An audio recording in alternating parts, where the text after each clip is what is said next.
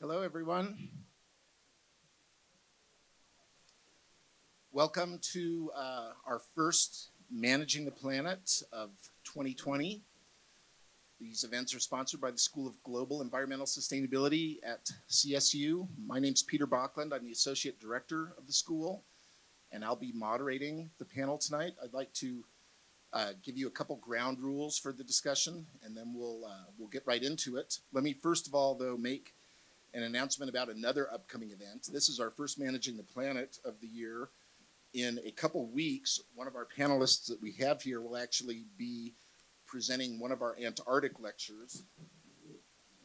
That's going, that's on February 25th at the uh, Old Town Library, and the uh, the topic will be a view from the Arctic Ocean, lessons for Antarctica, and it will feature Jessie uh, Creamean, who is one of our panelists here tonight. So that's another event coming up for us. Uh, the topic tonight is ocean science and the sustainable development goals, kind of the, the intersection of what we know about the oceans and, and changing the oceans and how uh, that will affect the sustainability, the UN Sustainable Development Goals, uh, a number of which focus specifically on the oceans. And we're lucky to have a really great panel to address the topic here tonight. Uh, up here on the stage, uh, the first one I'll introduce is Craig Starger. He's an associate of mine at the uh, School of Global Environmental Sustainability, where he both uh, teaches some of our courses and then is very active in uh, running a major international sustainability research program called Future Earth. And we're lucky to have Craig with us on that. His background is actually conservation biology and ocean science as well, so he's a perfect person to speak on this topic. Next to Craig is Jessie Creamean. Jessie is uh.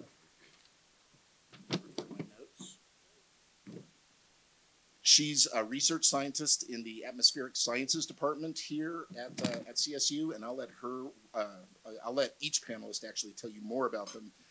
But uh, Jessie uh, has studied a lot of different aspects of uh, climate change and, and global change, specifically the aerosol impacts on clouds and precipitation. And she's also been really active in Arctic research, including spending time on an icebreaker uh, drifting in the Arctic sea ice in a very creative experiment that's being sponsored right now and is ongoing. Uh, next to next to Jessie is uh, Shane Kanatous. He's in the Department of Biology, where he does a lot of interesting work on marine mammals and all kinds of other things. And so you'll hear more about him from himself and his actual work that he's doing. And then finally, Rebecca Gruby from our Department of Human Dimensions and Natural Resources, who's doing all kinds of interesting work as well, specifically looking at the role of philanthrop philanthropic sponsorship of research projects and uh, how that uh, compares to more traditional forms of research sponsorship. So we're looking forward to hearing from all of them. I'm going to give them each a couple minutes to tell you in detail about their work. Then we'll open uh, the floor for questions.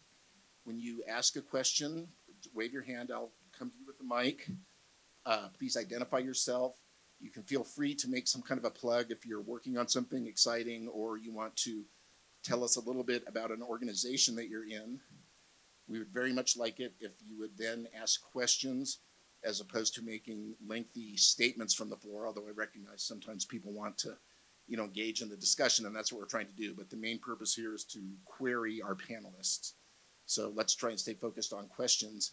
And then finally, I'd like to give a special shout out to uh, students and a teacher from Fort Collins High who are here uh, in the middle of the room.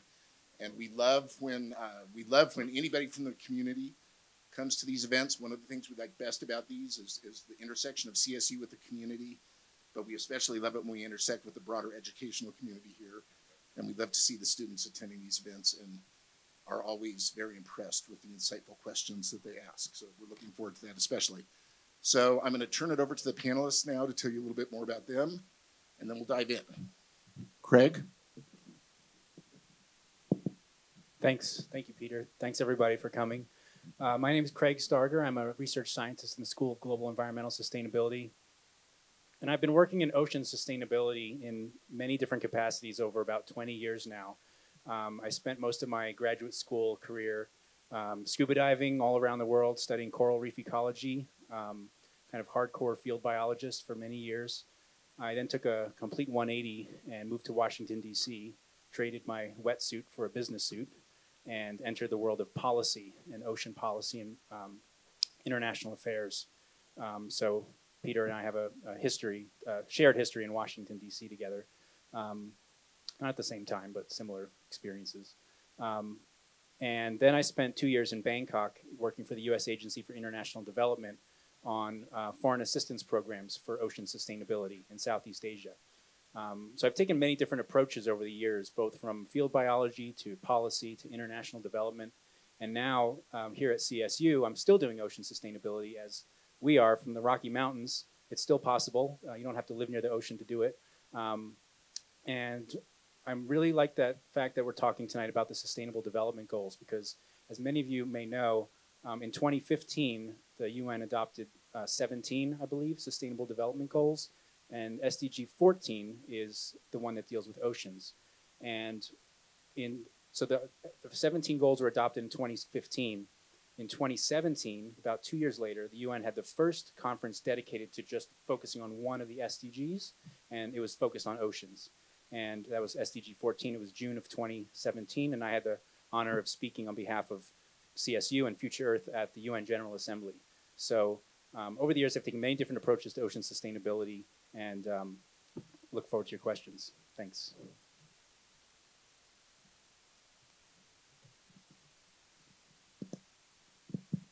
Hello. Um, so my name is Jessie, and I am an atmospheric scientist in the Department of Atmospheric Science. Um, so actually, my background is in chemistry. I hail from Illinois. Um, Um, I did. Uh, I went to grad school in San Diego, which was also a very nice place to live um, in chemistry. But that's where I really got integrated into atmospheric science, and where I really became interested in climate change. And so my research there for my PhD focused on how aerosols, their composition sources, how those can affect things like how clouds form and how precipitation can form. And so a lot of my work was actually done in the Sierra Nevada mountains in California, looking at aerosols that can come over from Asia and Africa and how that can affect storms in on the west coast. Um, after that, I moved to Boulder and did a postdoc fellowship at NOAA.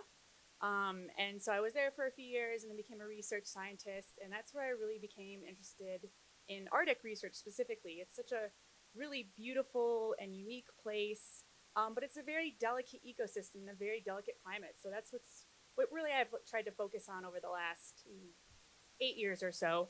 Um, and so a lot of my research focuses specifically on the ocean and the Arctic Ocean and how biology and ecology in the ocean and the sea ice can actually affect climate. Um, so I've done a number of different expeditions on icebreakers up in open water.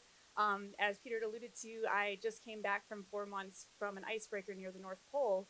Um, it's for a year-long transpolar drift experiment. So it's an icebreaker that purposely freezes in the ice to try to understand um, Arctic climate over the course of the entire annual cycle. So if you have time when you go home, look up Mosaic Icebreaker and you'll find out some more information about it.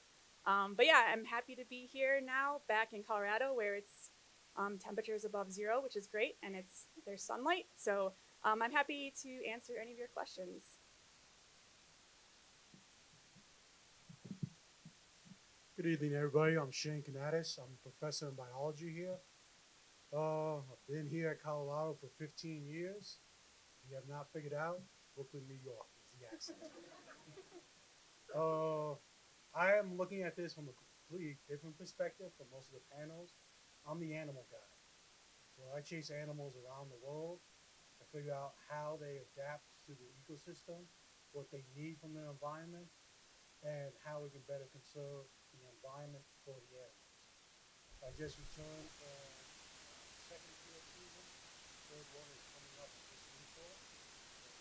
Back opposite seasons, going back down to Antarctica, chasing leopard seals. And the overall project is looking how leopard seals can adapt to changing climate and the loss of ice, and how that's going to affect their lives.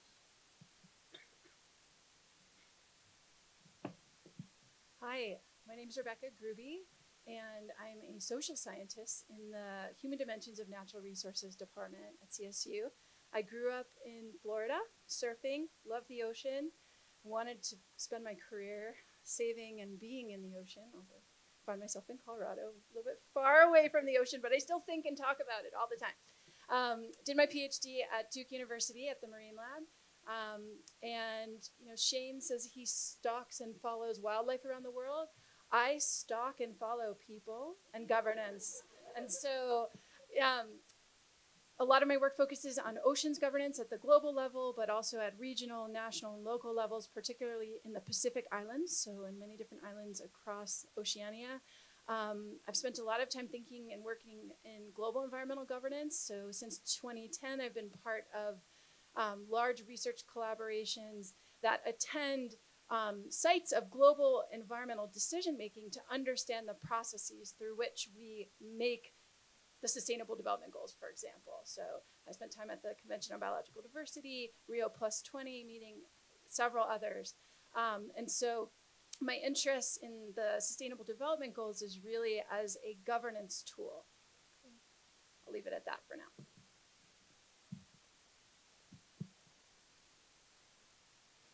So I think you can uh, hear from their own self introductions that we have a wide range of very interesting perspectives on the issues that we're going to be talking about tonight. And so I can tell you all, I'm certainly looking forward to hearing what the panelists have to say. So let's kick it off with some questions. Someone's got to be first.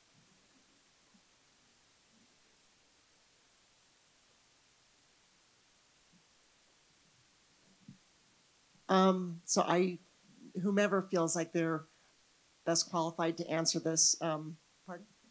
Oh, my name is Charlotte Demont. I'm actually a research scientist in the Department of Atmospheric Science, so I know Jessie. Um, but my question is, since this is a forum on ocean sustainability, um, maybe someone could talk to what are some of the, the top issues in sus- sustainability and the top challenges we're facing today.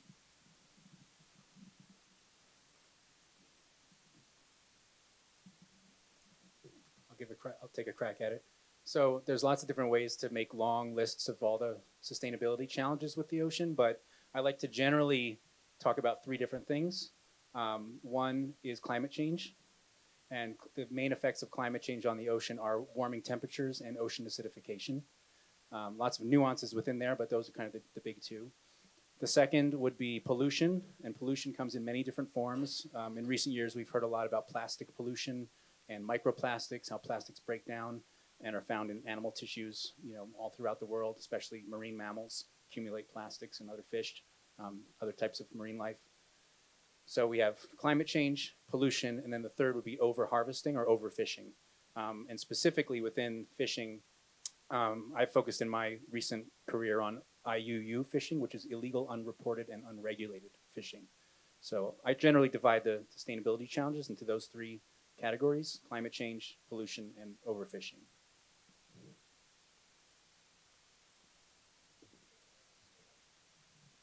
So I would add one more that people aren't speaking about, and my students in the audience, sorry, you've already heard this. So it deals with the idea of fishing. Because of our human population growing and humans being what we are, we like to have what we want wherever we are. The issue that we are not addressing is how much we are removing from the ocean and not returning to the ocean. All the fish that we take out, we bring inland, those nutrients wind up in landfills on land. Those nutrients used to decay in the ocean environment, sink, and be resources for life in the ocean. It's an issue we are not addressing, but it is a major issue because those nutrients are being removed and not being.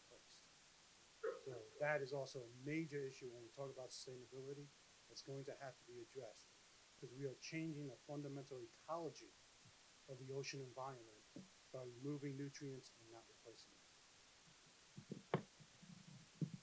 Just to add one more to that, I think about sustainability through a social lens. And so I just think it's important to point out that 3 billion people depend on the ocean for their major source of protein. And so we need to think about sustainability issues as it relates to human needs and well being and interests. Sorry, I'm going to interrupt and, and comment. Um, so, just kind of building off of what these two had said, um, the animal food web, and this is again from the scope of the Arctic, but I'm I'm pretty sure it's happening globally. Um, the food web is changing, and animals, because of climate change, are migrating to different locations, and they're being affected by ocean acidification. So, crustaceans, their shells are being eaten away by the highly acidic ocean compared to what it normally is. And so we have this whole shift in the ecosystem. So that affects things like fishing, it affects the animals. It's really a bigger problem and it's happening pretty widespread.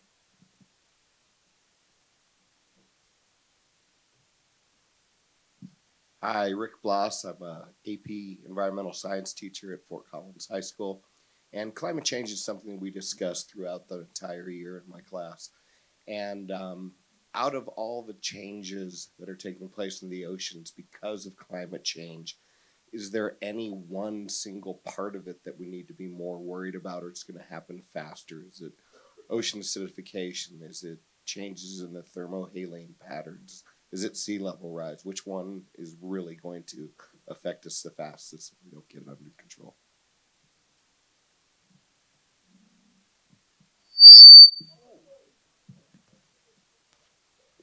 Sorry about that. So, one of the major issues that is coming up is as the environment changes temperature, people don't realize that there is a relationship between the temperature of the environment and the type of nutrients found in fish and the plankton. We're actually seeing a shift in the lipid composition of the organism in the ocean environment. And unfortunately, that change in lipid is going to affect how animals adapt.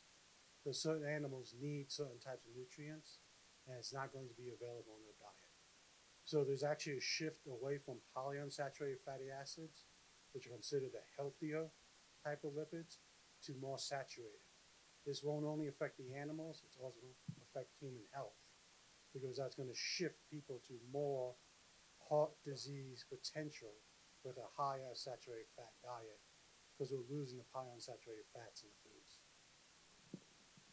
Um, so it's pretty difficult, I think, to say which is the most dire problem we have because everything's kind of happening happening slowly and simultaneously.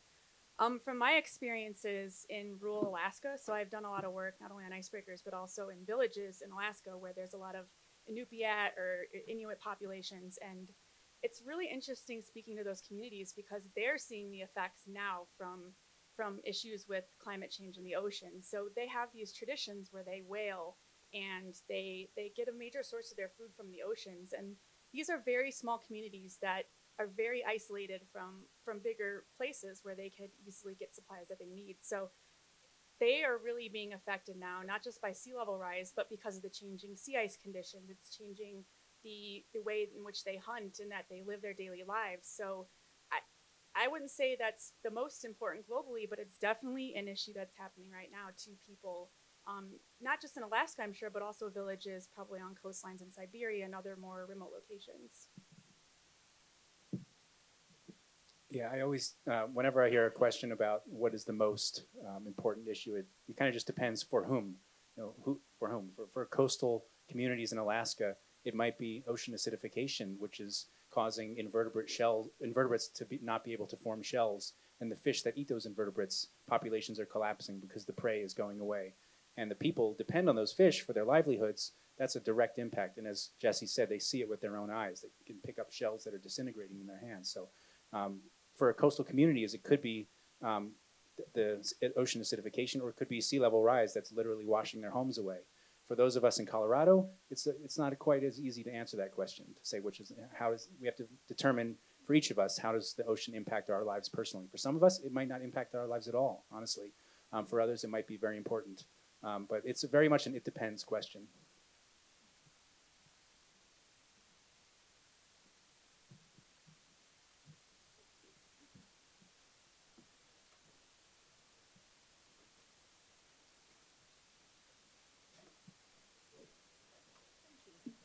Just really quickly, some lovely girl gave me her seat. Isn't that nice? um, the, these kids are great. My name is Eleanor Dwight. I'm with the United Nations Association of Northern Colorado. And I just want to introduce ourselves to you and to the students because we have a United Nations Association chapter on campus. And I have put out on the table over there these wonderful cards about the Sustainable Development Goals. They're beautiful. Pick one up, and also our membership cards. And that's it. Thank you for doing this. Thank you.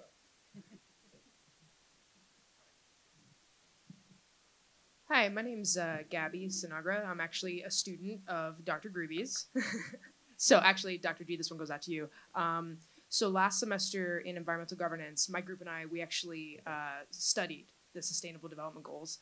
And something we found is that while it was like an incredible step in a wonderful new direction, they were pretty vague and pretty broad, and a lot of targets, like over 169, I think it was. And so, my question is since their implementation, do you think they've been successful? Because marine protected areas are quite large and can be, you know, pretty difficult to maintain policy and see if anybody's following through. So, has it been followed through? And if not, what would you tweak from a policy standpoint? Such a good question. One of our students. Good job. Um, not an easy question. Um, I think it's too early to say, right? We're only five years out. The goals are, you know, we're looking at 2030 um, as sort of the target date. Um, and I think, um, you know, definitely one of the critiques is that they are there are too many of them, right? And they're too vague, too broad. There's 169 targets. There's 17 goals. Compare that to the Millennium Development Goals. There were eight of them, right? And only 21 um, very specific targets. And so that's definitely one of the critiques, right? How how are we going to know we're making progress um, on a timeline that that matters?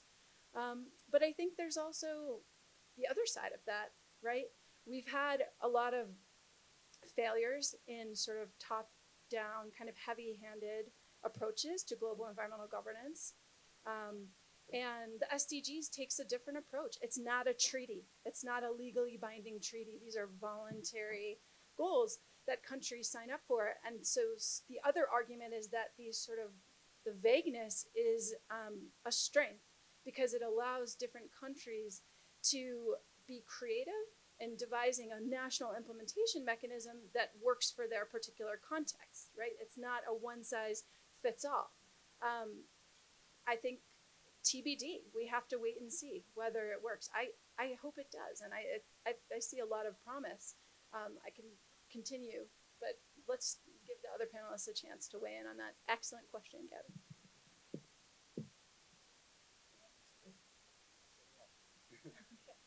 I'm going to use the prerogative of the moderator for a moment and ask a follow up uh, to that, which is uh, I think you made a very important point about the SDGs being a voluntary structure. My question is I, I know a lot more about the climate negotiations than the SDGs. Is there a formal mechanism for uh, people to report on their progress towards the voluntary commitments they've made in response to the SDGs? So, is there going to be an easy way for people to look at how how nations are doing in their pursuit of these? Yeah, that's a great question. Craig might be able to speak to this too. Okay. Um, uh, yeah. So that's that's the oceans meeting. So the 2017, and then the there's another one in 2020, another UN oceans meeting, and the point of that meeting is stock taking. So it's an opportunity um, to measure and sort of gauge progress. But I also think one of the most um, influential tools for enforcement is the blame and shame game um, where there is no sort of legal mechanism with teeth. What we do have is um, an accountability mechanism where we can sort of embarrass one another and say, "Why aren't you doing more?" Or the opposite, right? Give accolades and say, "Look what look what you have done." You know, um, others should follow suit. So, yeah, that's that's how I would answer that.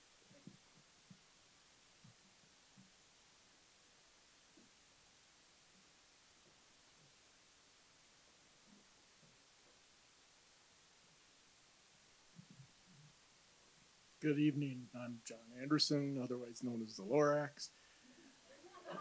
I might uh, answer that question. What entity in the con- in the world is not better prepared to protect those spaces, both on land and the ocean, than our own military. We have to start thinking different and acting different to save our planet. Anyone want to comment on that comment?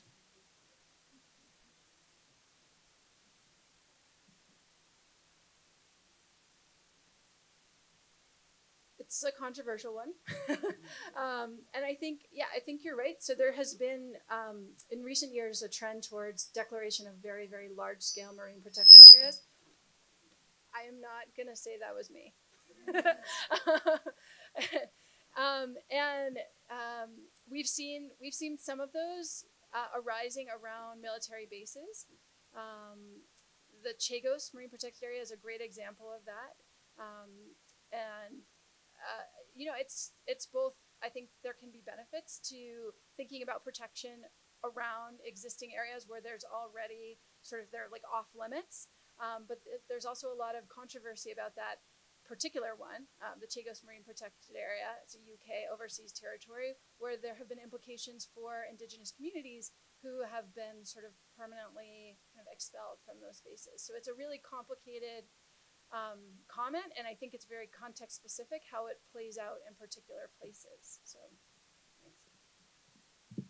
Um, I would just add in general that I agree that the the military, militaries in general, but specifically the U.S. Department of Defense, has a very big role, in fact, in environmental security, which they call a term that they use called environmental security. In 2015, I attended a meeting hosted by the DoD in Thailand called the Pacific Environmental Security Forum and the, it was a massive event, thousands of people, and the entire purpose was um, how is environmental degradation and climate change impacting national security, not just for the United States, but for our, our friends around the world. So there's definitely a, a recognition that um, environmental degradation, specifically ocean sustainability, is important for national security and also international security. And there are many efforts actually already underway to address it.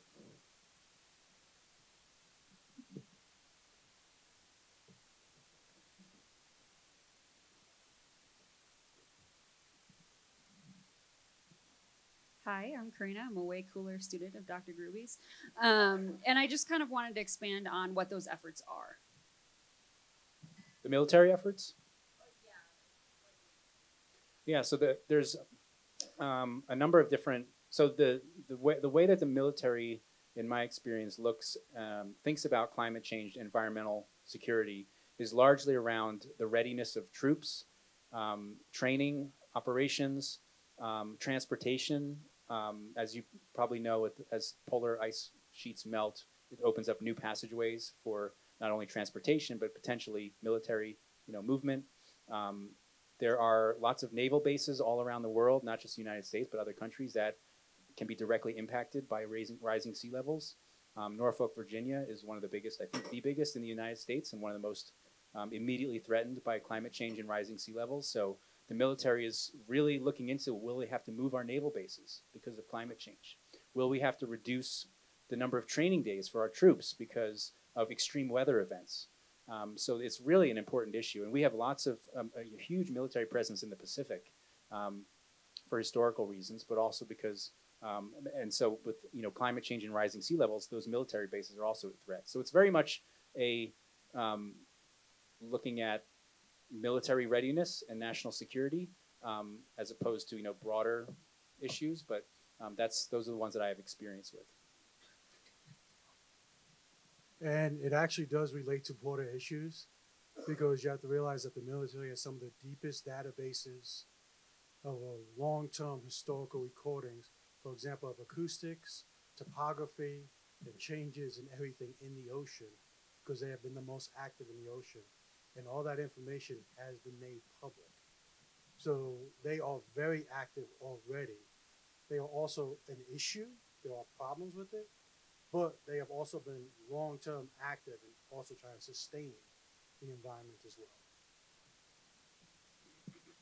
Kind of going along those lines too, um, the U.S. Coast Guard is really heavily involved in ocean research. So the there's an icebreaker called the Healy that I've been on, and it's run by and operated by the Coast Guard, but it's outfitted for science. And so this icebreaker is deployed every year, and it's mostly focused, I think, on Arctic, at least over the last uh, maybe five, ten years. But um, they're the, the Coast Guard is heavily involved with helping scientists get the measurements they need to be able to understand long-term changes in the Arctic um, and oceans that they actually sail through. So the Coast Guard has been heavily involved, and, and I've been on the, that icebreaker a few times now, and the Coast Guard is incredibly helpful, and they're very curious about the science, and they're very concerned about climate change. So it's really nice to see that. Just to continue with that thought, the Air Force is, takes everybody down to the Antarctic and McMurdo Station, former Navy base that has been adjusted and changed into science and transferred from the Navy to the National Science Foundation. So again, there's been a long-term effort of the military in a lot of these issues.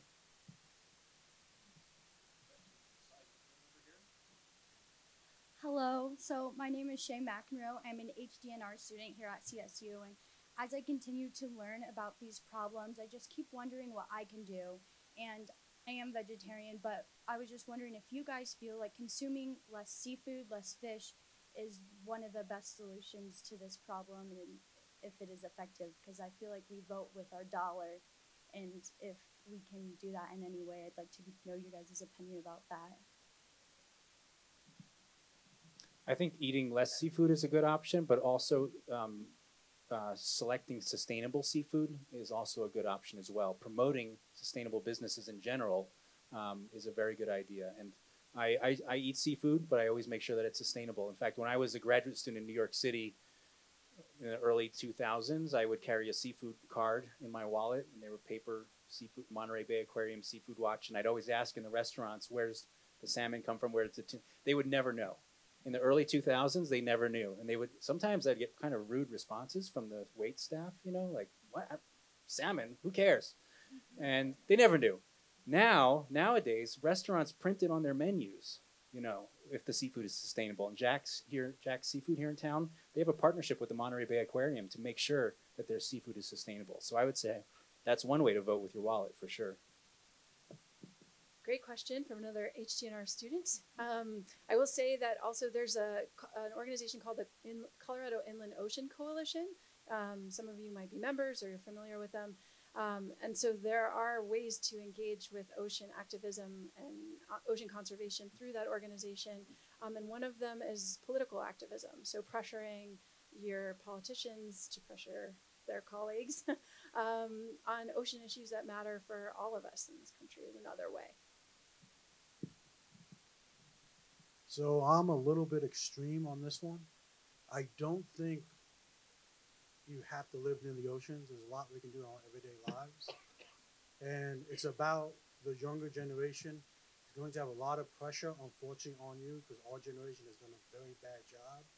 And what I mean by that is your choices. How many people in this room have a cell phone? Please raise your hand. How many people also have a laptop? How many people also have a tablet? Do you realize where the minerals come from so that you can do that? Do you realize that we don't recycle those? There are issues. There are other things we can start doing. Why does Home Depot sell anything that is not energy conserving? We can do a lot of things. Why are electric cars the most expensive car on the market? They should be the most affordable because they will help the environment the most. There's a lot we have to do with the way we spend our dollars and ask the commercial industries on what they're putting forward. So there's a lot more we can do. It's not going to be easy, but there's a lot. Look, we created an entire industry, a cell phone industry, on something that we did not need. We all, the older folks in this room, all survived as children, made it to adulthood, some of them even raised children and didn't have constant connection to them. But through advertising, through the social consciousness, it is now a right that every person has a cell phone. Imagine if we change that to teach people about environmental issues, how powerful that will be and the change that we can bring about.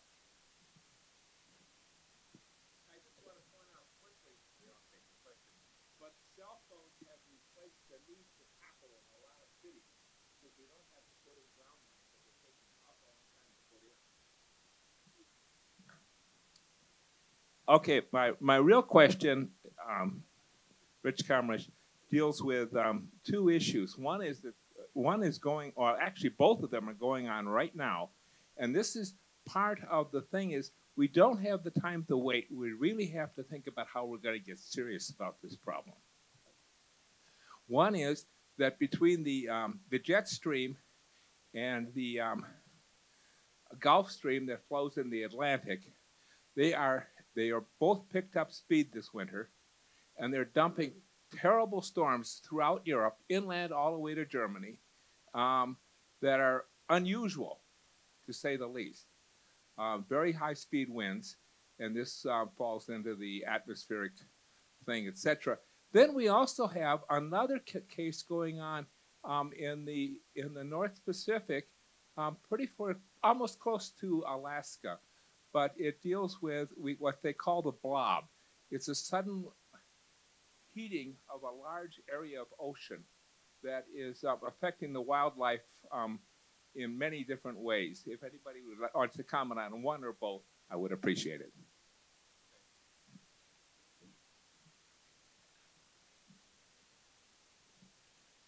Um, so I will sort of comment on that. Um, I don't know much about the blob. Um, I, have heard of the movie The Blob. Um, but um, so the jet stream and is highly affected by just patterns in temperature all over the globe. And so irregularities in that stem from irregularities in localized atmospheric dynamics, for example, which is connected to ocean circulation as well.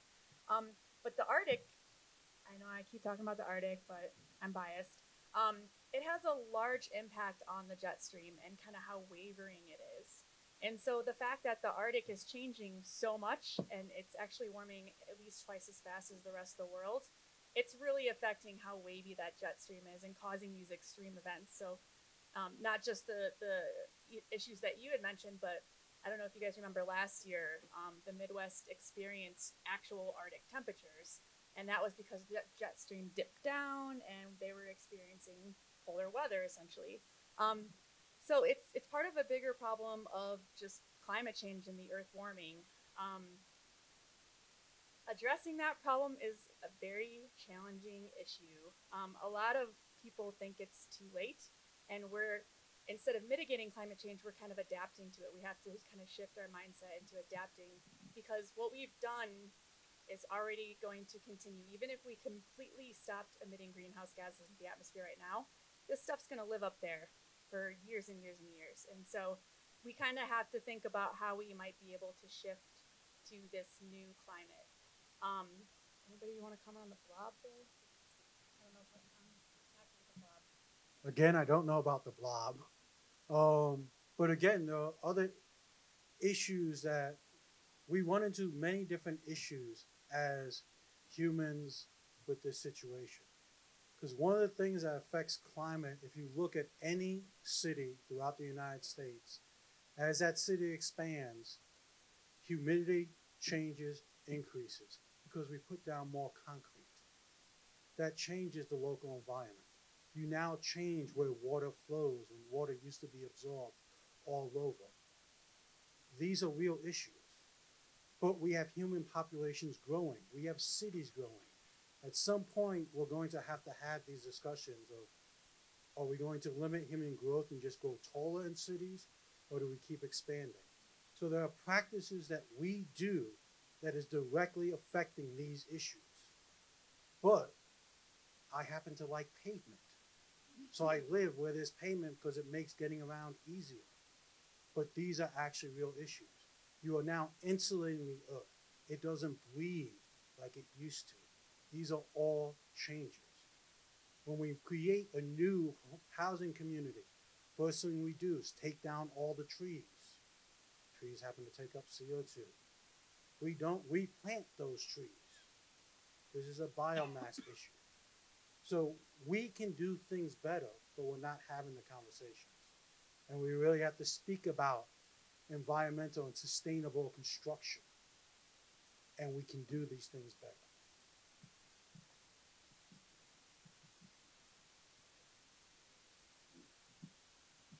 Hi, my name is Tegan Jansen. I'm a student of Mr. Bloss's at Fort Collins High School. Um, so I know a lot of different countries around the world all have different approaches to addressing the catch-all climate change issue, whether it be doing nothing or having a formal agreement nationwide. My question is, do any of you have a favorite one or one you'd like to see more of the world join in on?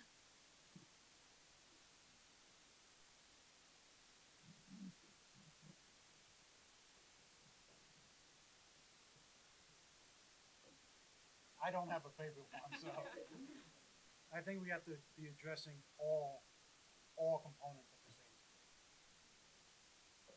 Other panelists? Yeah, so um, I'm gonna get governancy on you, um, and what what I think holds the most promise for addressing climate change issues is a concept called polycentric governance, and really what that means is many poly many centers of governance, decision making, many centers of action, many centers of rulemaking, and so do I think we're gonna be saved by just the UNFCCC? No just national level action, no. State level action, no. Local level action, no. But all of those working together, maybe we have a chance. And what excites me about that type of governance is that if one state fails, another state is experimenting with another approach and they can learn from each other. Same goes at local level. So we Fort Collins is an like really one of one of the best examples globally of what a city can do to address climate change. And so we're privileged to live in this place. But the point is, um, it's about many experiments happening at many different scales of social action um, where we can learn from one another um, and reduce risks of failure because we're all experimenting. So I don't have a favorite, but I have a favorite approach and a way of thinking about climate change. What, what an insightful question. Yeah, it's a good point, and and kind of the whole analogous thing to that is strength in numbers. So you know, you might think, oh, I recycle, I compost, I ride my bike, it's not going to make a big difference. But if everyone were to do a little bit to reduce their carbon footprint, it could make a larger impact. And so it's something simple that you can do, and hopefully people catch on, and then we can have a more collective effort of making it a bigger issue um, or a bigger solution. And so we're kind of getting on the tangent of climate change, but it is related because climate change affects the oceans. And you know we've been talking about carbon dioxide but that affects the oceans because you have a lot of co2 in the atmosphere. It's going to be taken up by the oceans and that's what's that's what's basically sparking ocean acidification. So um, little things that you can do do them and and and kind of talk to your friends and family and convince them that hey this is something easy that we can do to try to play our part Hi, my name is Maggie Haynes. I'm an environmental economics student at CSU. And going back to putting things into the ocean, um, in terms of doing that, is anyone in the world working on that currently? And if so, what are they doing to accomplish that? Like, what are their strategies? To my knowledge, that is not being done because it's not actually being spoken about yet. So, and it's because I think people are a little bit more caught up with the idea that we are putting nutrients by eutrophication into the ocean, but near shore areas. That's not right now going to be in the deep ocean. At some point in time, in about a thousand years, it will make it to the deep ocean. But to my knowledge, no. So it's about, again, an education process, really looking at what we're doing and the practices that we have because it's not a simple solution. Taking a ship of dead fish carcasses out to the ocean and dumping them is not going to look very good. And where that may be carried by currents and where that potentially could wash up could be a problem. So it's going to be a complicated solution to solve, but it is something that we're going to have to start thinking about.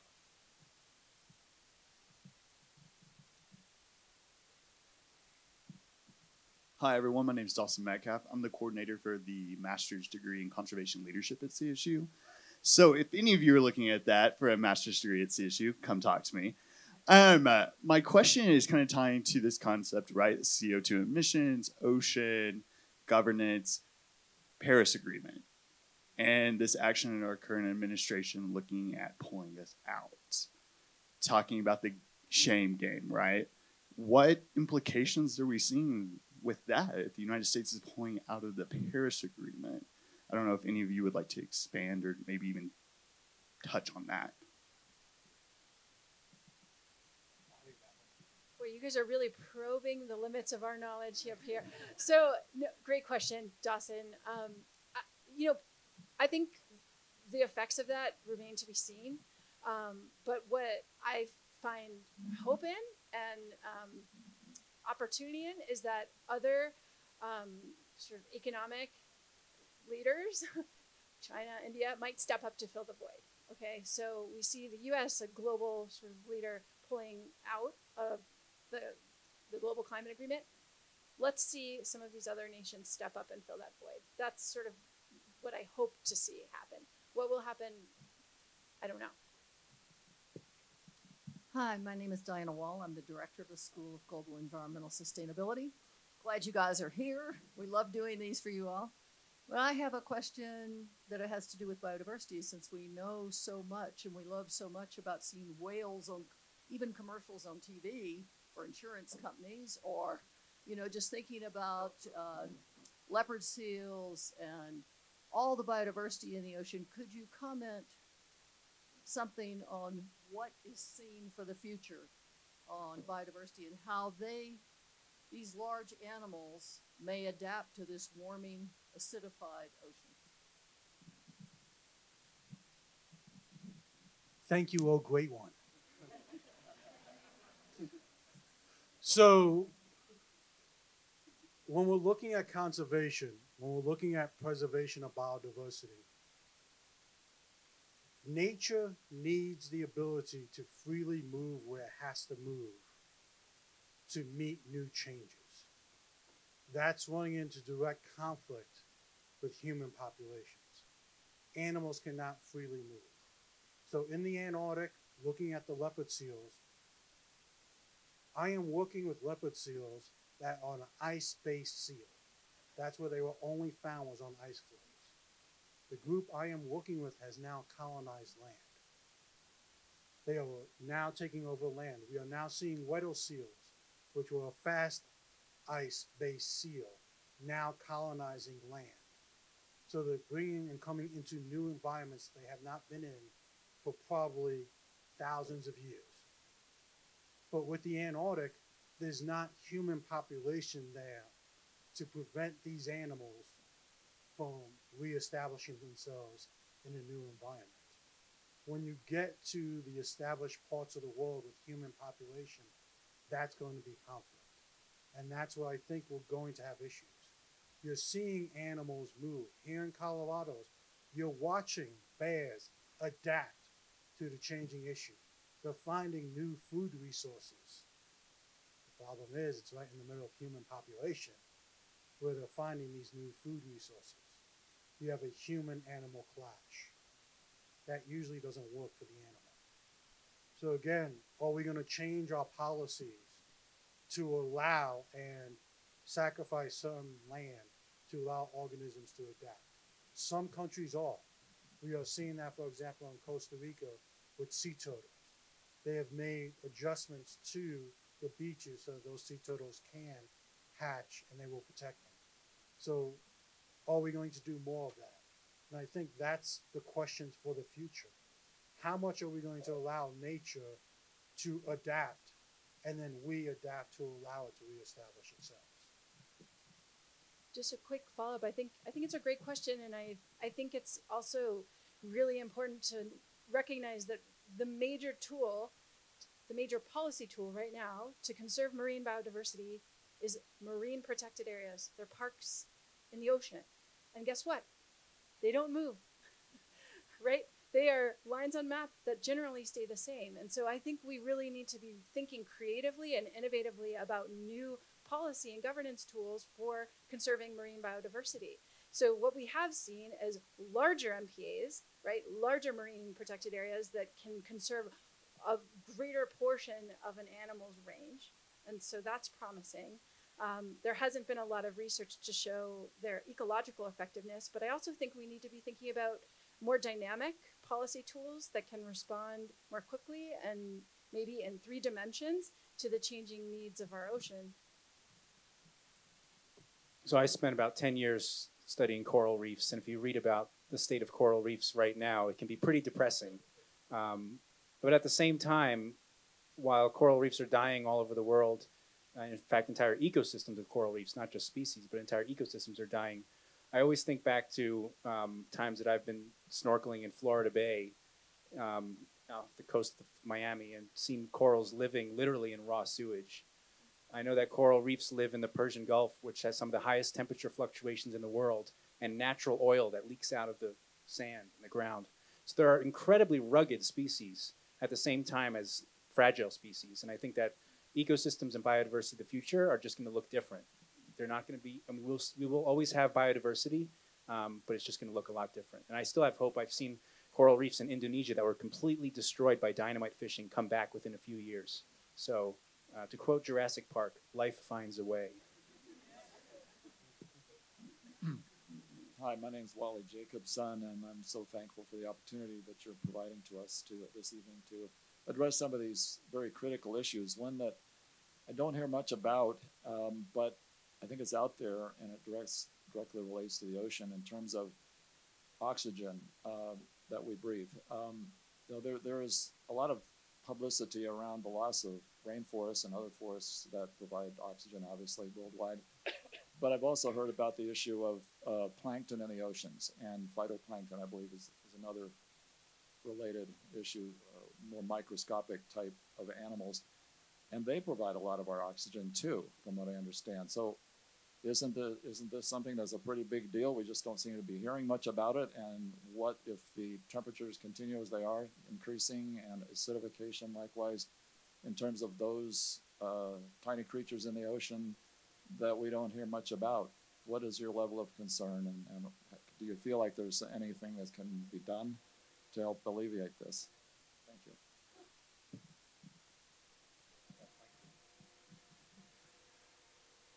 Okay, so the we receive about 60% of our atmospheric oxygen from primary production in the ocean.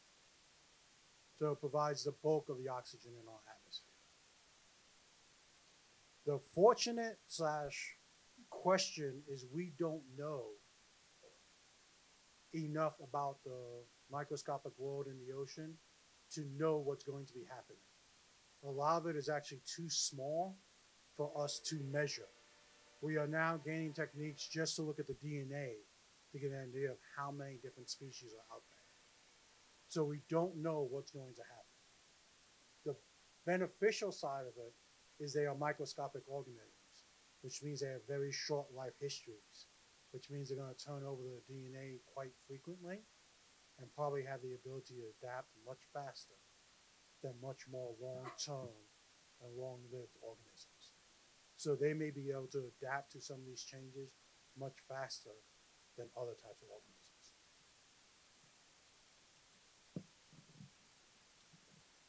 Hi, my name is Nathan Smith. Um, I'm in the CLTL program, so Conservation Leadership Master's Program.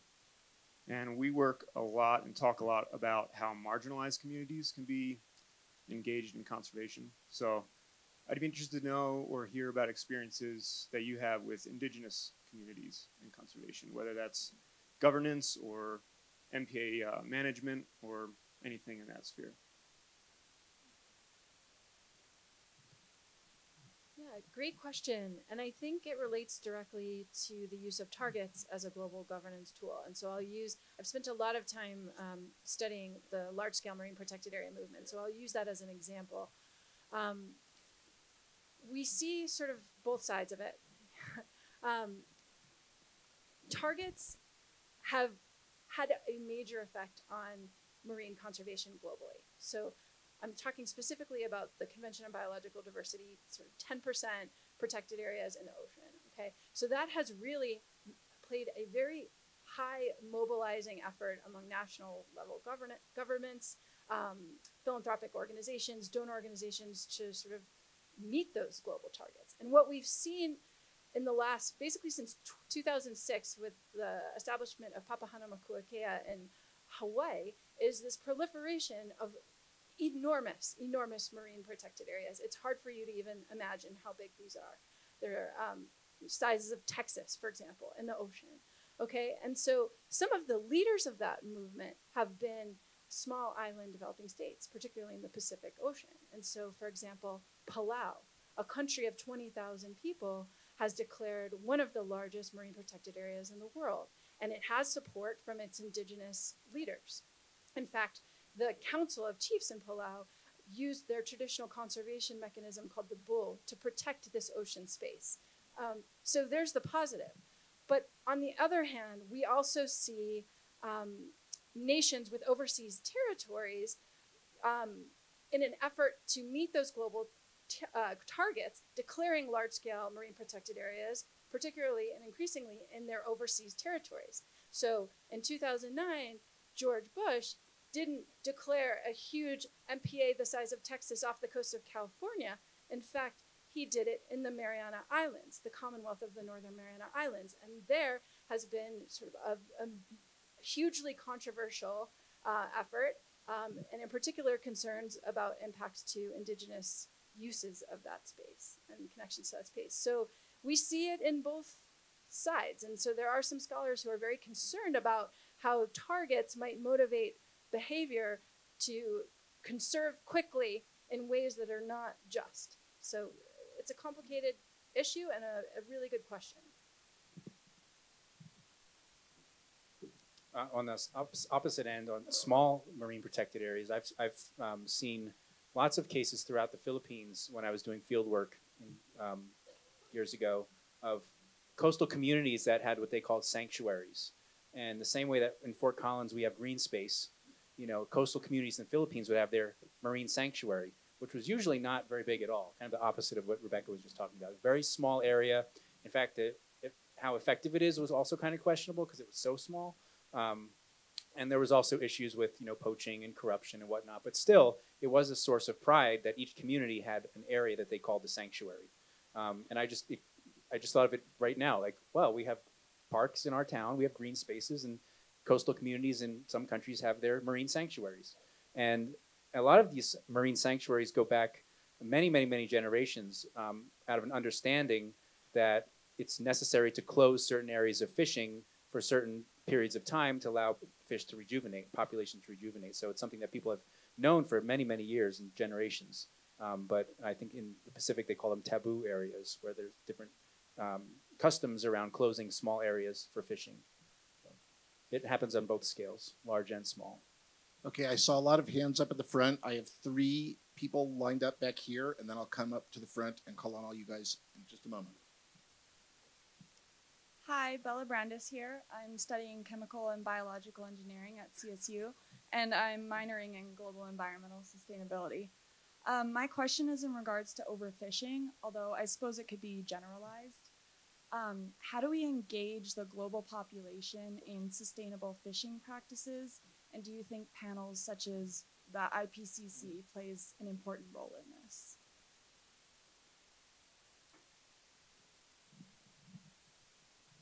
I think how you spend your commercial dollars will play the bigger role. I think us making certain decisions. Does every McDonald's have to have a fish sandwich? I'm not kidding. Because that's pollock. It's being overfished. Why is it being overfished? Because people in places that don't have pollock want the fish sandwich.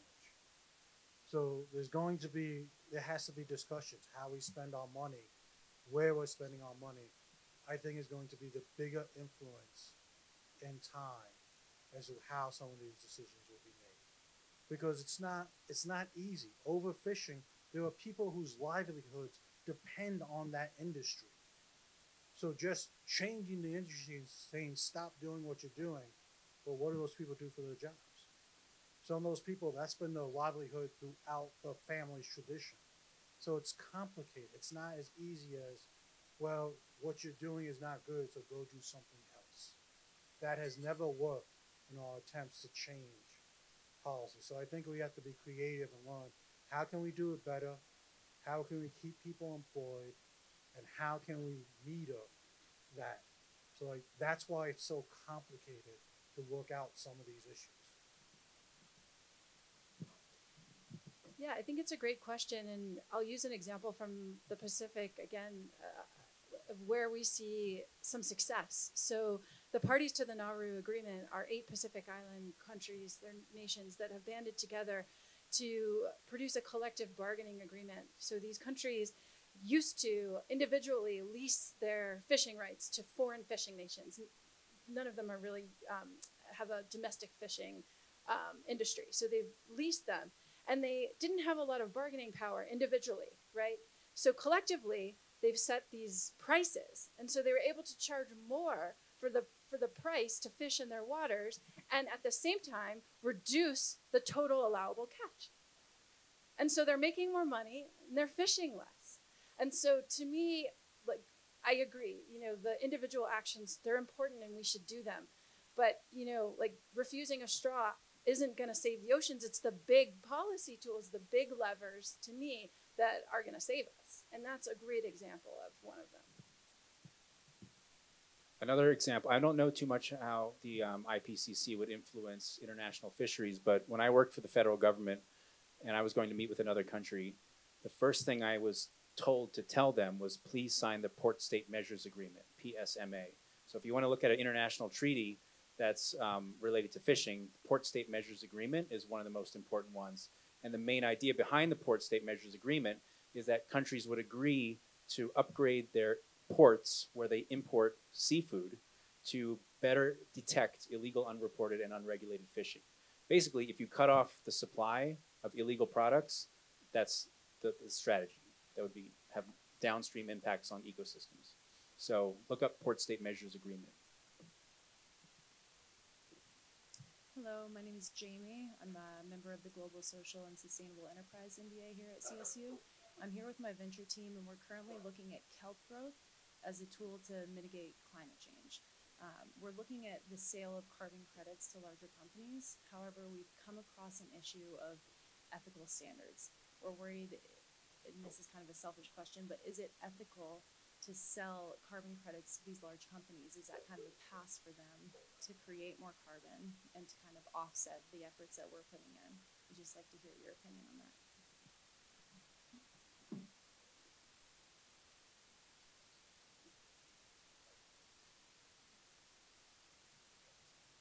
I am not educated enough on the subject to really pass a valuable comment on that. So sorry about that. That's not something I feel confident enough to speak to with any security. I think you've stumped the panel.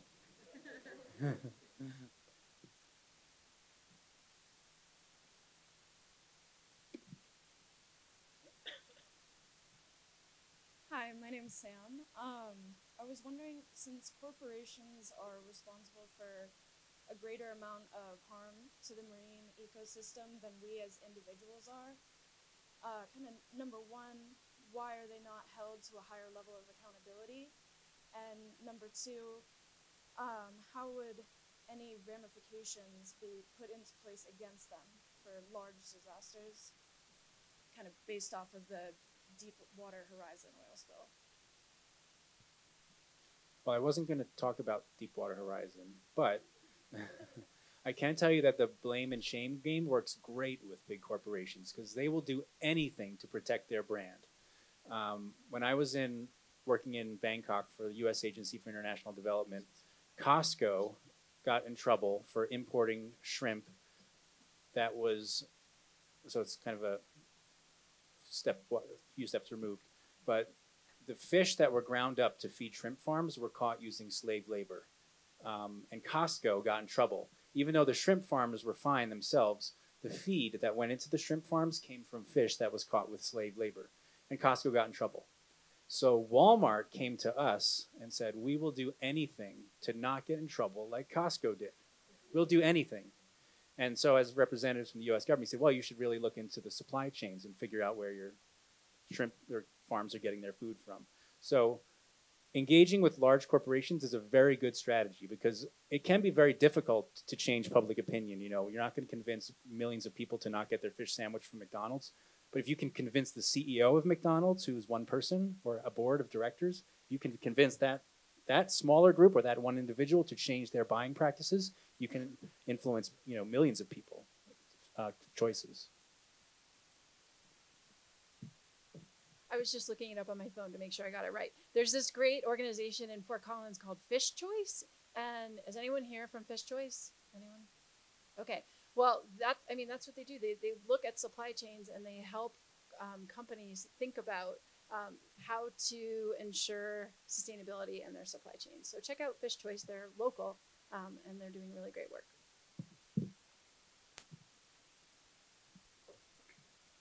Thanks. Uh, good evening. My name is Tim Fellows. I'm minoring in uh, and I'm not in your section, Dr. Starger, but I'm taking classic teaching.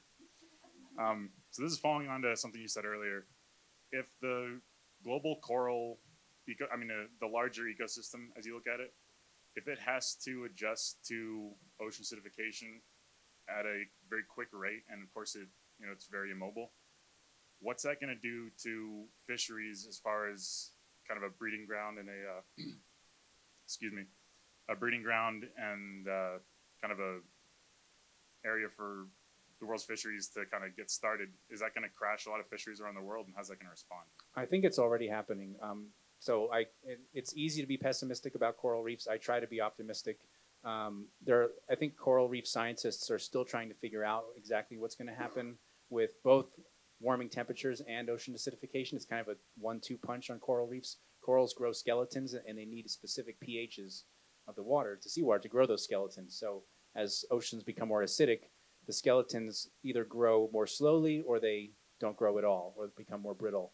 So as coral reefs degrade, um, lots of oceanic or reef associated fish use the coral reefs for their breeding grounds or their nursery grounds, and those populations probably will collapse. And I think it's happening already.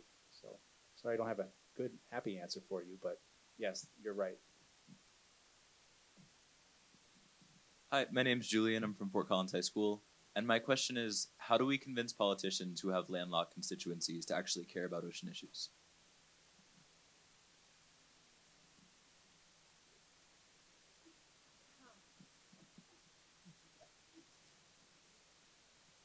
No one's got the magic formula? Come on. I don't have a answer for you. I'm, I'm thinking about your question. Um, I think you have to link it to other issues that they care about um, and make it relevant to their constituents, convince them that their constituents care, um, and sort of pressure them in ways that really just link it to issues that they're already working on, show them the linkages there, um, and make it local, make a local argument. That's the best I can do. Anyone else have ideas on that? It's a it's a really good question. I mean, I'll actually add to that. I think Rebecca's making a very important point that politicians, landlocked or coastal, are primarily responsive to their constituents. So if the constituents care, the politicians will care. So the key is convincing your peers and your fellow citizens to let politicians know what they care about. Hi, my name is David. I am an ESS major at CSU, and my question runs more along the line of plastics in our oceans and how they've made their way all the way down to the bottom of our food chain and zooplankton. How should we should we approach this issue and just beefing up, continuing to beef up our recycling industry and investing in that, or looking towards the corporations and why they keep producing more and more plastic?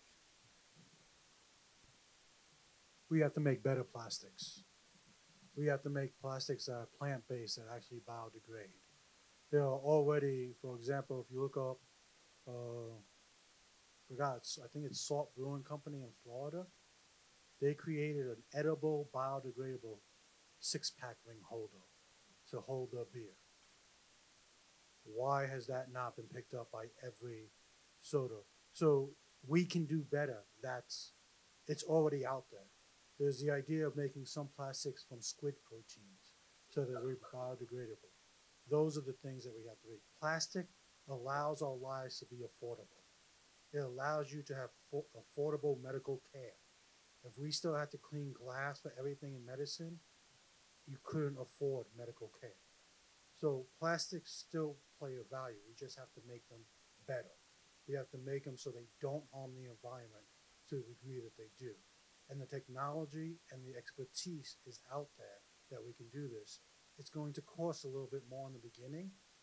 So the question again it comes down to will you be willing to pay a little bit more for certain things in order to get that better aspect for the environment?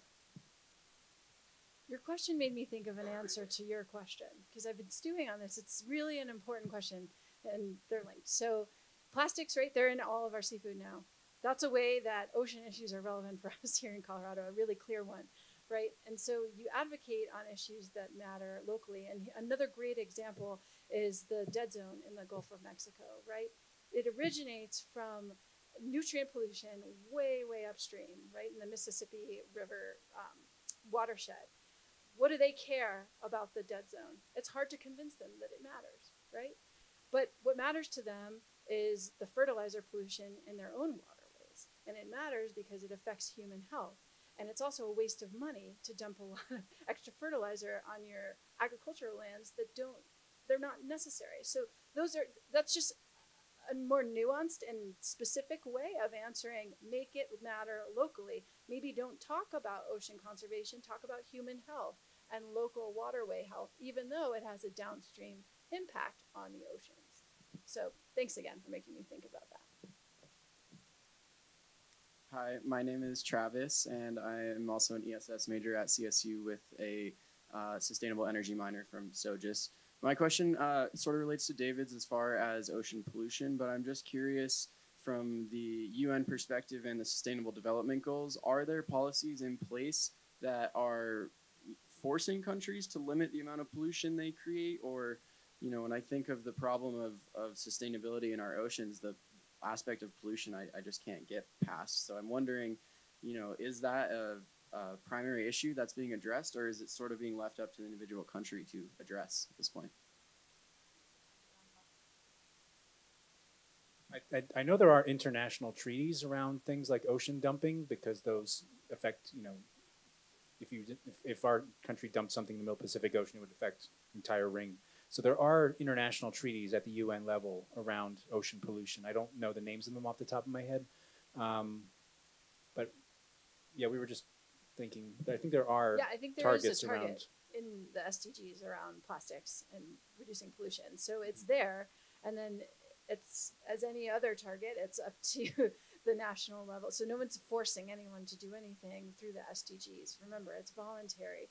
But I will say it has mobilized a lot of attention from NGOs, like Oceana is really paying attention to, to plastics. A lot of philanthropic organizations are turning to plastics. So it's mobilized more attention in civil society. So yes, people are paying attention to it and trying to do something about it. I've got a couple people lined up on the side here and a couple more in the middle, but we're working our way through the queue here. Hi, I'm Corinne from Fort Collins High School, and I was wondering how are global warming and ocean acidification affecting natural processes like upwelling, and how will those affect future generations?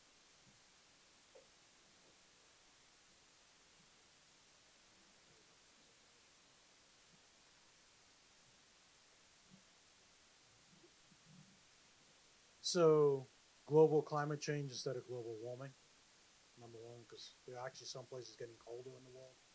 So, it's actually climate change. And upwelling, so there's different things that affect upwelling. You're always going to have upwelling whenever you have currents hitting land. That's going to actually force the water up and still bring those nutrients up. So, the real issues with change is actually in the power and the movement of the currents themselves as was stated earlier by the gentleman, we're actually seeing some of the currents, such as the Gulf Stream, speeding up. And what that's doing is actually bringing more, more, more warm water up.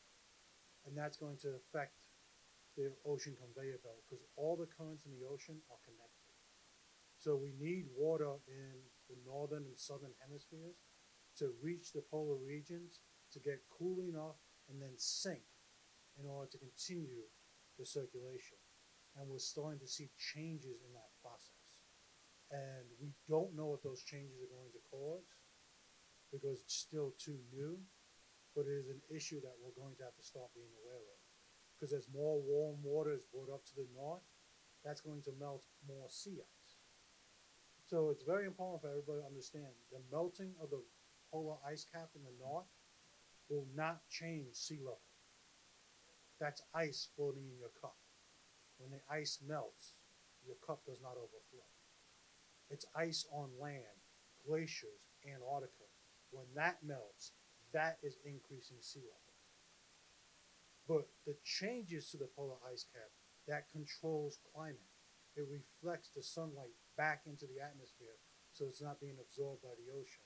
So the less ice, more heat into the ocean, the more it's going to change. So those are the issues that we really have no understanding of. But here's an alternative. The loss of the polar ice cap is going to shorten the distance ships have to travel in order to deliver goods. We're going to have less carbon emission. So there's going to be people who's going to argue both sides. That's why, again, in the future, some of this can get complicated. So I'm going to argue with that. Um, so yes, you will have a shorter path because the Northwest Passage, Passage will be open, but you're also going to open up the opportunity for more entities to want to send ships through that location. So are you actually reducing carbon? Depends on how many people have ships right now and if they can meet the demand fast enough to move ships across. So again, I'm not. It's not. That's those are going to be arguments made by people. I'm actually not supporting the idea that the loss of ice is good, but realize you're going to start hearing that, and they're going to start using it as a basis of, oh look, my ship doesn't have to travel as far, so this is actually environmentally better for us. I'm not saying it's better. But you're going to start to hear many different arguments as these changes are occurring. That's why I think the most important thing for all the young folks out here is to get educated about all the different nuances so that when these become issues, you can really start speaking to them and using your votes intelligently to help bring about change. One more um, example that I just thought of from the Pacific, there, the upwelling in the Eastern Pacific is responsible for bringing nutrients up and supporting some of the most productive fisheries in the world. And as climate change continues to um, change global weather patterns and ocean circulation patterns, those upwelling patterns are also becoming less predictable and more irregular. And that's directly affecting fisheries in the Pacific. Yeah, a similar case. Um, so if you have changes in ocean currents, even just a little bit, or temperatures that affect the ocean currents, you can change not just upwelling coastally, but you can have a lot more mixing in the oceans, especially in shallow regions. This is really important um, because you can mix material from the bottom of the ocean to the top of the ocean. And so, um, a good example of this is I recently published a paper looking at this really interesting case in the Bering Sea where it's only about 50 meters deep of water, but we had really warm temperatures that caused the ocean to mix up much more quickly than it normally does. And that actually caused a huge phytoplankton bloom in the Bering Strait. And that actually affected the aerosols in the atmosphere that could affect Arctic clouds. So there's all these little changes that can happen that have these sequential effects um, just from changing the current a little tiny bit. So that, that's a, that was a good question. It may not completely polarize them to the opposite direction, but even if you change the speed or slightly the direction, it can really affect the ecosystems and then um, um, feedback effects down the line. Hello, I'm Casey Shaw, uh, studying biological sciences at Colorado State University. So, this one I got reminded of earlier when we were discussing like corals, like how some of them are collapsing and some of them are able to thrive in sewage infested or extremely hot environments. So, considering that these corals exist in some areas of the world but limited ones, and then other ones are changing rapidly and there are existing species that are delicate are dying out. Given how dire the state of corals is and how important they are to the ecology, is there merit to the idea of if not necessarily just directly transplanting species that are capable of handling the changing local conditions, modifying species there, like replacing their symbionts to be more tolerant of heat changes or whatever, and then trying to engineer the ecosystems to survive these changes, or is that considered feasible yet on a large scale? Short answer, yes, and it's already being done. Um, not on any scale that is, is currently making a difference on, on an ecosystem-wide scale, but coral scientists are looking into those very issues um, with breeding, um, breeding corals, raising them under different temperature and acidification conditions. Um, so that type of research is currently being done for sure.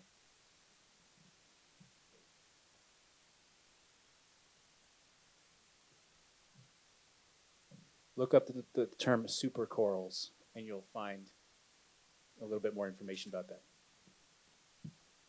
Hi there, guys. I'm back here. Um, my name is Jordan Gorostiza. I am a master's student in the Department of Journalism and Media Communication um, at Colorado State, and I study really neither of them. um, right now, I'm, I'm studying conservation marketing, um, which has to do with uh, planning and implementing um, interventions to try to change behaviors in a, to, um, to a more sustainable way. And I'm wondering, I know a lot of times with climate change and other environmental issues, we try to inform people and educate people a lot, um, but the research is showing that that's not enough. You know, people process information with their own biases, and there's lots of things that can interfere with that. It doesn't necessarily change behavior. So I'm wondering if your guys, in your guys' respective fields, you are seeing a trend towards trying to understand communication theories a little bit deeper, or sort of how how you guys think about that communicating to the public um, yourselves. That's a very good point, and a lot of times scientists are terrible communicators.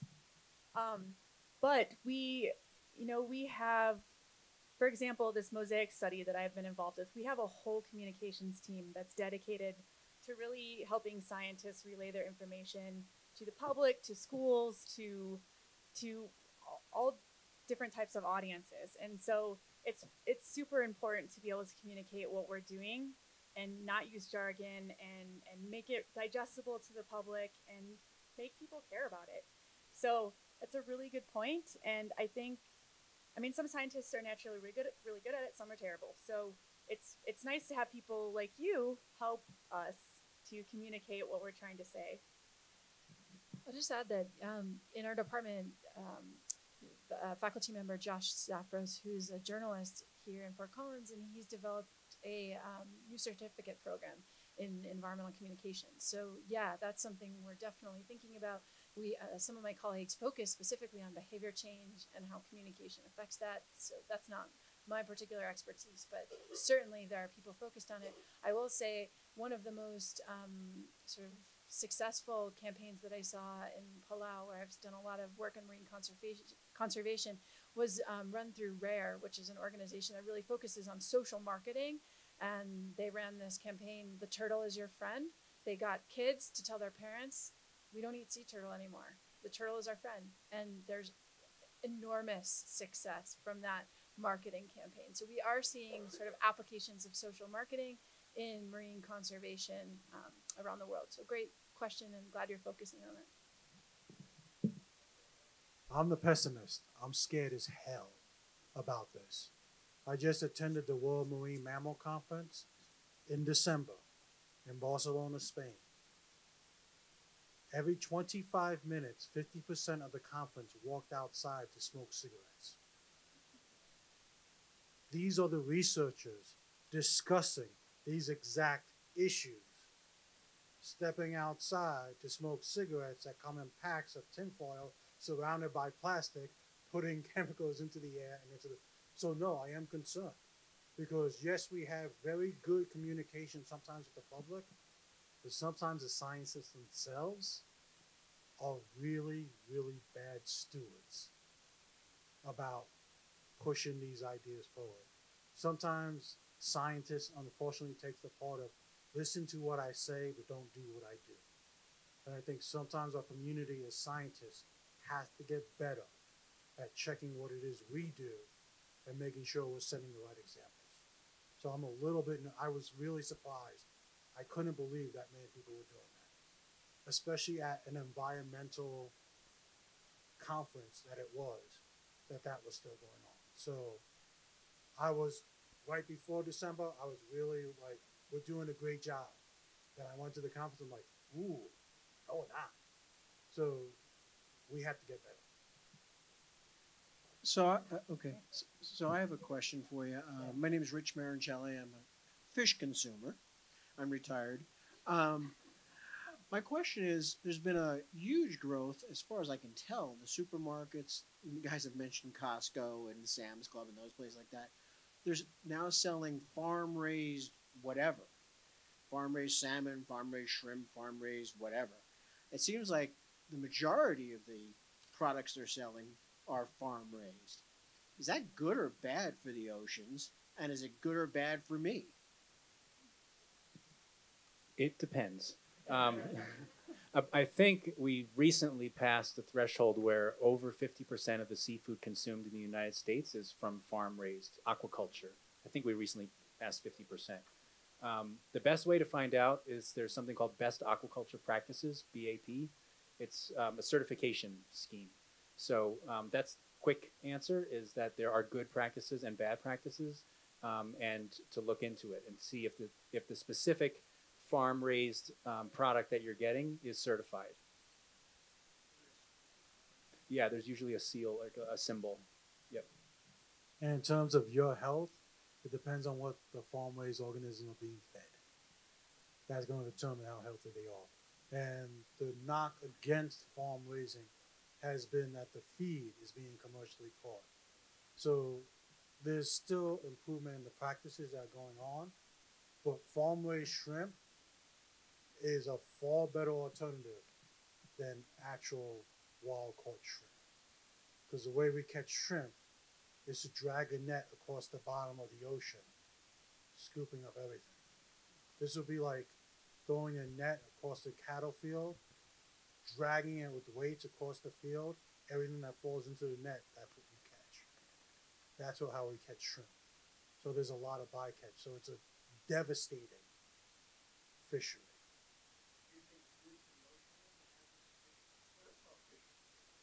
aquaculture. So if we can actually farm raise them properly, where we actually monitor what gets fed to the organisms as well, yes, it can be much better for certain types of fisheries. So um, I'm Charlotte DeMott again from the Department of Atmospheric Science, and I just wanted to follow up on this question that you asked about change in, changes in ocean upwelling. And Jessie talked on this some.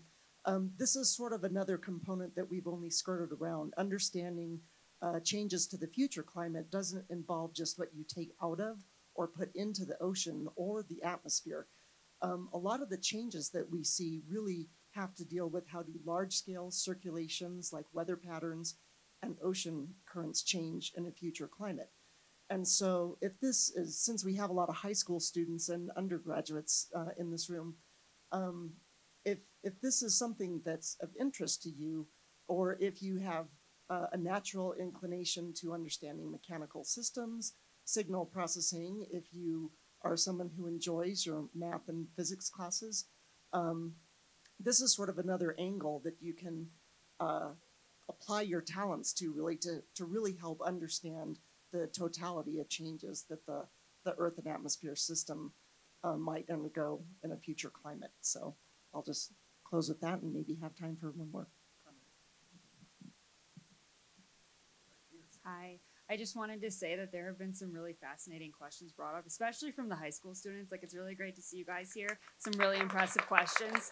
Um, my question is pretty lighthearted. Um, you guys have all, like, you're in the field, like, you're doing your research. I just kind of wanted to know maybe, like, what keeps your passion going? Like, what's a fascinating development or observation or anything like that that has really struck you? Like, it was very interesting to learn about like the seals and like the coral reef skeletons, like anything involved in that that just kind of shows like y- your passion, I guess. Yeah. Life is extremely resilient. It is when you get out into the wild and you get to see it, it is amazing to watch the interaction. Because these leopard seals have now started to colonize land, the penguins have to change where they leave and come onto the island So you just watch how everything interacts. And when nature is allowed to do itself, it fixes it. The issues are nature can't have free range to change because of the implications we'll put on it. But it's fascinating to see how life continues to adapt and adjust. And to be able to just get to see it, because I'm just, it's only myself, four other people get dropped on an Antarctic island and left there for between three and five weeks. So no other people, and you just get to see this. It is amazing. And you talk about passion, that, that's a dream just to be able to see that. I kind I kind of have two things. So one, following that, just the beauty of where we get to go and how unique these places are. And you know, on the way up to the North Pole, we saw a mama polar bear and her cub, and they were just playing around on the ice, and they were really cute and deadly, but they're really cute. So it just like it kind of makes you smile, and you're like, all right, maybe what I'm doing does affect this down the line. Like I study aerosols and how they affect clouds, but the clouds affect the sea ice. The sea ice is where the polar bears live and where they depend on their food is the ice edge. So that's changing year in and year out. So you kind of see these things and they're tangible, but then you think about, okay, well, it relates to what I do, and I'm trying to help understand a process that can maybe affect these things down the line. Um, two, for me, I work in a very interdisciplinary, international in, in, um, environment. So people from all over the world doing different types of, of research. And one of the coolest things I've noticed of being on icebreakers and going to different places to do studies is you're working with people and you may not understand exactly what they do, and that's okay, but you kind of see how what you do links up to what they're what they're studying. So a lot of my recent research has focused on really you know, I have my part, you have your part. How do they link together? Because if we can understand the processes that are happening and not just our little niche, you can kind of understand a bigger picture problem and try to address it. And so um, that's a really rewarding thing is to be able to say, all right, I am an atmospheric chemist, you're an oceanographer. Oh, look, cool, these measurements make sense together. Like we're totally seeing how there's biology happening in the ocean and it's and we're seeing signatures in these gas measurements, and then we're seeing the signature in the aerosol, and we're seeing the signature in the clouds. And so it's really, really fascinating to see those linkages um, between your own discipline and other disciplines. Uh, so I started out um, in science because I like dissecting things. Um, then I got to really love animals and being outside and doing field work and studying beautiful coral reefs and scuba diving 120 feet off of atolls in the Caribbean and just amazing places that I can't even begin to describe if you haven't been there. Um, but in more recent years, what I've really kind of keeps me going is understanding the con- how dependent people are on healthy ecosystems. And I've met Alaskan fishermen who's entirely a mayor of a small town in Alaska. He said, "My town would not exist if it were not for this salmon fishery, this halibut fishery, for generations. You know, it's going back generations. Um, I've met owners of seafood industry, seafood companies in the Philippines who said, my, I want my grandchildren to own this company. We want to fish forever. They don't want to just take all the fish as quickly as possible. They want sustainability. So just seeing the connection between people and healthy ecosystems, even though I'm not as closely connected as some of them are, that's that really inspires me. I'll Quickly. keep it quick. I'll keep it quick. Such a such a beautiful question to end on. Um, so for me, it's this faith in human creativity and ingenuity, and this this this really strong faith that that we can solve these problems. We can be creative.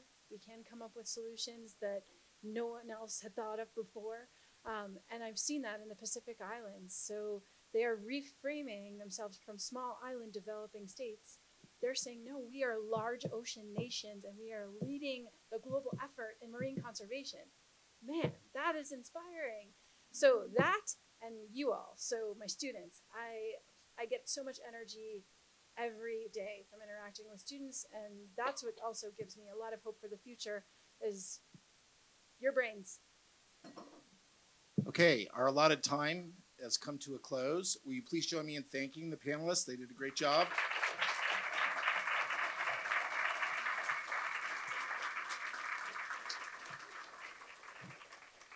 Let's go ahead and give yourselves a round of applause for asking such a bunch of good questions.